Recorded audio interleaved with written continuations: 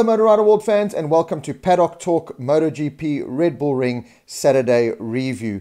Um, and after the threatening weather, it looked like it was going to rain at many times during during the day. Those those clouds just came over the Spielberg Mountains, there in the Styrian Mountains, and you kind of just thought, oh god, it's it's going to rain. It threatened with a couple of drops uh, once or twice, but there was no real rain uh, ever, so it stayed nice and clear. It actually got really hot at one stage. There was a bit of a breeze, so that did make it uh, a little bit more bearable, but a very hot day of, of riding out in um, in Spielberg on and off track in MotoGP.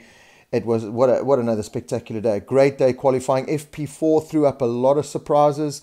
Uh, we saw the struggles, of course, of our very own Brad Binder. He had some technical issues with his machine that really hampered his FP4 uh, and it kind of carried on into into the qualifying. He did get straight into Q2, which was a great thing, but sadly, one or two gremlins there really did hamper his full charge, his full go um, at trying to get as high up on the grid as possible. Nevertheless, he will start in 12th, put in a decent time of 129.5, only 0.7 off. Okay, only 0.7 in MotoGP terms these days is quite a bit, but 0.7 off um, top spot, which went to Enea Bastianini, and Brad has come out and said, uh, he, you know, he's got a little cheeky smile about himself for Sunday. We know he is the Sunday man. There is a 40% chance it's going to rain um, in the Styrian Mountains tomorrow, Sunday race day. So let's see what happens, and if if it is um, uh, you know a wet race, is Brad going to stay out on slicks and win the race again? it, was, it, certainly brought a lot of excitement last year. We know that, but. Um, yeah, let's see what happens. I think it's going to be a great race day. I really do think it's going to be a great race day.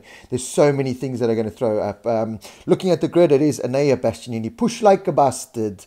The man, the beast. What a, what a ride there from him. Looks a little bit more relaxed now. Uh, I don't still no word on the decision whether him or Martin are taking the full factory ride, but Bastianini this weekend just looks like a rider that's sewn up his contract, whatever he's doing, whether it's Pramac or the factory deal. It looks like that deal is done, and he's riding with a little bit more uh, freedom, a little bit less stress than he has while you know uh, Ducati were making this decision. I said it all along. Ducati didn't really manage that whole situation well, in my mind. Putting Martin and Bastianini up against each other really did mess with their heads a little bit, but they both seem to be back on track and a brilliant performance by Enea Bastianini to put it on pole position for the Gresini Ducati team. I think he's going to be a big threat. We know um, he can win races. He, he's done it three times already this year. We know how well he can manage races. So he's going to be a big threat on that Ducati. A Ducati with a rider like Bastianini and his um, his racecraft around Red Bull Ring, it's gonna it's it's gonna be a tough call getting ahead of the beast. It all depends on the start though. That start is going to be so vital, especially now with that new chicane. I am heading myself, once I've sorted Daz out, got him comfortable, and he heads out, I am heading straight to Service Road, straight to that chicane, because I want to see what's going to happen. Um, in fact, for all the races, I'm going to head straight there because I all those riders coming out of turn one and funneling themselves into that chicane, which is very much um, uh, one line. There's there's one line through there. I think there's going to be a little bit of carnage. I think we're certainly going to see some riders getting it wrong, going straight. There's there's going to be something going on in that chicane. So I'm definitely going to go pinpoint myself there. So it's good. It's going to be vital about a start. Um, you know, being aggressive but not too aggressive. Do you go inside? Do you go outside?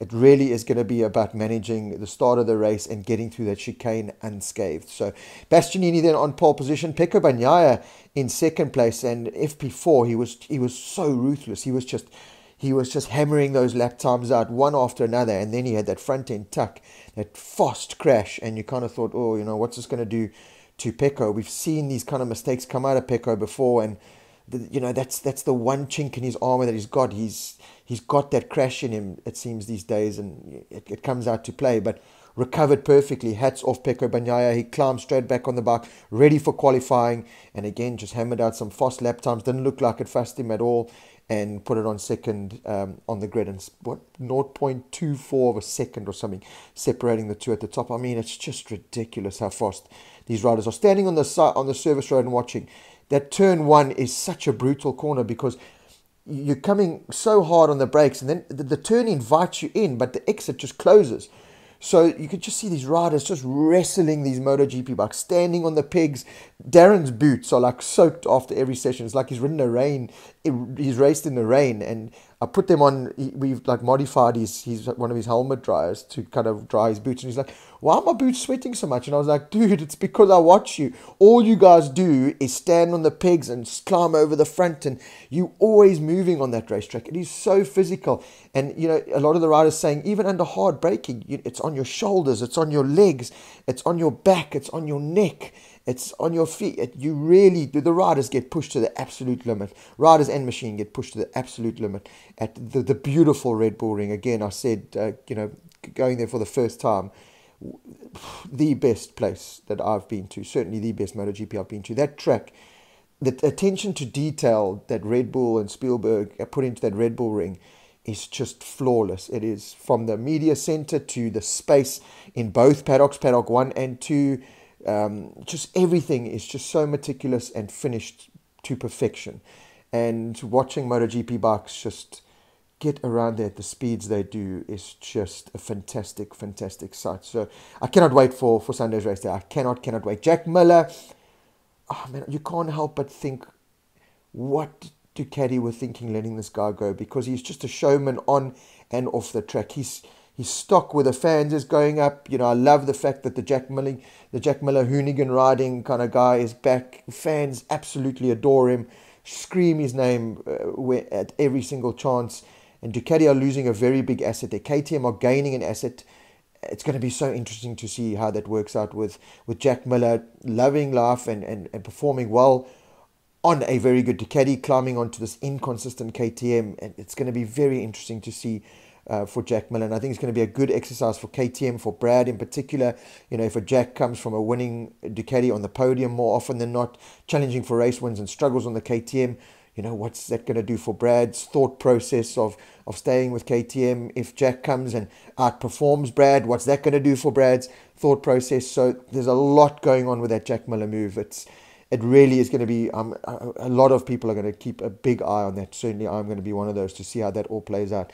Then it was Jorge Martin uh, um, starting up the second row. Watch out for him. We know the Martinator. We know what he did last year. He was able to win there. We know he's got the pace. We know he's not shy of getting those elbows out, and he can also just be ruthless and relentless. So another big tip. Fabio Quartararo, the first of the non-Italian uh, bikes, um, breaking up the, the Ducati party at the front there. He's just behind Martin in fifth place. And my only concern with Fabio is he's, he's riding that Yamaha to the absolute limit. And when you're doing that every single lap, every single race meeting, you know, we saw a chink in the armor at Assen with that mistake. We saw at Silverstone, certainly, uh, the struggles were there. You know, how much longer can he push to the absolute limit and get away with it? While Pecco and them are, are coming. You know, Pecco Bagnaia, we counted him out of the championship. He's only 50 points behind. Championship is very much open. Aleix Espargaro, Silverstone didn't go his way. You know, very much a damage limitation game there. Didn't lose too much on, on Fabio, but he's not quite on the pace with the rest of the field this weekend. Although I do think both he and Maverick are good options for certainly top five, potentially podium as well. But it's going to be hard to beat those Ducatis. But for Fabio to put that in fifth place, you know, listening to Simon Crafar in his commentary, he's like, it is. It's it's a heroic effort, but how long can you continue riding at 110% for every single lap eh, before breaking point, you know, hits? So Fabio's going to have a big challenge on his hands, a big, big, big challenge. Um, I certainly think turn one and the chicane leaning into turn three helps him. It'll maybe line him up able to to potentially make a move, but then, you know, when it gets to horsepower city, Fabio Quartararo has just got to just got to pray and somehow keep those Ducatis and Aprilias behind him. So let's see what, what Fabio Quartararo, how he manages this race, because it's really him against the Ducati world at the moment. He's just ganged up by Ducati and Italian machines, um, European machines. Behind him, Zarco. Zarco, you know, looked really good the whole weekend. Couldn't quite um, replicate his pace from certainly on Friday. Uh, we, saw the, the challenges that that Aleix Espargaro, I think it was free practice three or four where he came down the straight and he shaved past Zarco. Um, yeah, I think that was a little bit naughty from from from Espargaro because Zarco he was kind of gesturing to Zarco. you should have been more over. Zarco was completely on the right hand side, right on the white line. Maybe Zarco should have seen him coming and not you know gone out as fast. I I look at it and I think Aleix was he he meant to go past him that close to try and you know teach him a lesson, say get out of the way, but that could have ended horribly. I mean, oof, when I watch that onboard of Zarco and how close Aleix comes past and Zarco's arm still moves, that that was a scary moment. And like I said, I think a little bit of naughty there from uh, Aleix Espargaro. Um, but yeah, Zarco behind him is Vinales. I think watch out for Vinales. He looks so happy with Maverick Vinales. He really does look like a, a rider reborn now.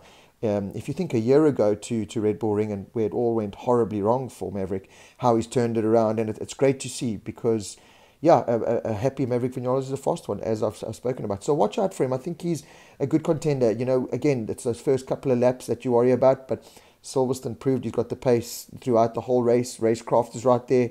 And I think he's going to be a good tip for top five, potentially top three. Joan Mir, we know he loves Red Bull Ring um, on the Suzuki. A little bit further back there, he's going to again have, have struggles. I think they'll have good overall race pace. Another top contender for top. Everyone's a top contender for top five and top three, it looks like. Uh, but good to see the Suzuki up there. Behind him, Aleix Espargaro, like I said, looks like he's on the limit and not quite on the pace for the top three. But anything can happen on, on race day Sunday, especially with those Aprilias that look after their tyres and the, the, kind of form that uh, is in uh, this season. Di Antonio, another great effort there from, from the Gresini rider. I really am becoming a big fan of Di Antonio, both on and off the track. And hats off to him. I was one of his doubters at the beginning of the year. Good job, DG. Well done. Uh, right up in the mix there ahead of Alex Rins and then Brad Binder in 12th, like I said. Lap time 29.5. Brad, I think he had a little bit more in the pocket, but we really did have some some gremlins in FP4 and the start of, of Q2. So managed to get the best uh, uh, out of a tough situation there. But I think he's got something for Sunday. Top speed wise, he was really good in FP3. I think set the fastest uh, top speed, 315 k's an hour. So the speed's there. We know how good he is on the brakes. We know he, he's not afraid to pass.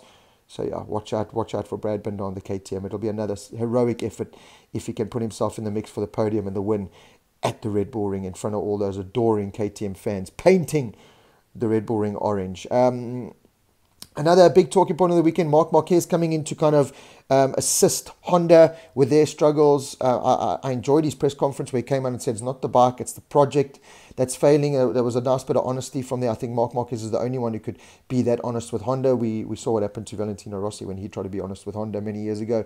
Um, they wouldn't let him and he left. So it's good to have Marc Marquez in the paddock. He's certainly smiling and looking a lot happier. We'll know his return date hopefully this next week. Um, but yeah, Moto, MotoGP needs Marquez, so hopefully we'll see him back on track. So far, his um, his attendance, which I think is also you know being Red Bull Ring, Marc Marquez one of the top Red Bull athletes. I think that also kind of just enticed him to come. If you go into the Red Bull Ring um, shop, you see all the KTM stuff and Red Bull Ring stuff, and then there's Marc Marquez stuff for sale in that shop as well. So I think it was also, you know, just come to the race, do a little bit of PR on that for us, and assist Honda at the same time. And so far, the assistance isn't going that well because Paulus Espargaro and his brother Alex Marquez, who crashed in Q1, is stone last. So um, yeah, but it was great to see Marc Marquez back in the paddock and smiling, certainly. Uh, big news. Um, exceptional press conference that took place. The sprint races have been announced. So um, we'll delve into that on uh, Talking MotoGP live on Facebook Wednesday night from 8 p.m. South African time. We'll really climb into that because that's going to be a big topic of discussion. You'll see on the Moto Rider World page, I literally put the whole press release there from the MotoGP.com website. It really does explain everything, but kind of similar to World Superbikes, um, the sprint race that goes on there, but it doesn't count for qualifying. So in World Superbikes, where you kind of finishing your top nine in the sprint race is the top nine of qualifying. That's the only real difference with the MotoGP sprint race. But like I said, tune in Wednesday night, live from 8 p.m. We'll delve into the sprint race saga, the pros and the cons of it. Certainly, I've I've picked the brains of a lot of a couple of the team owners and managers and sponsors, and I you know I can understand both sides. So it's going to be a nice topic of, of conversation there.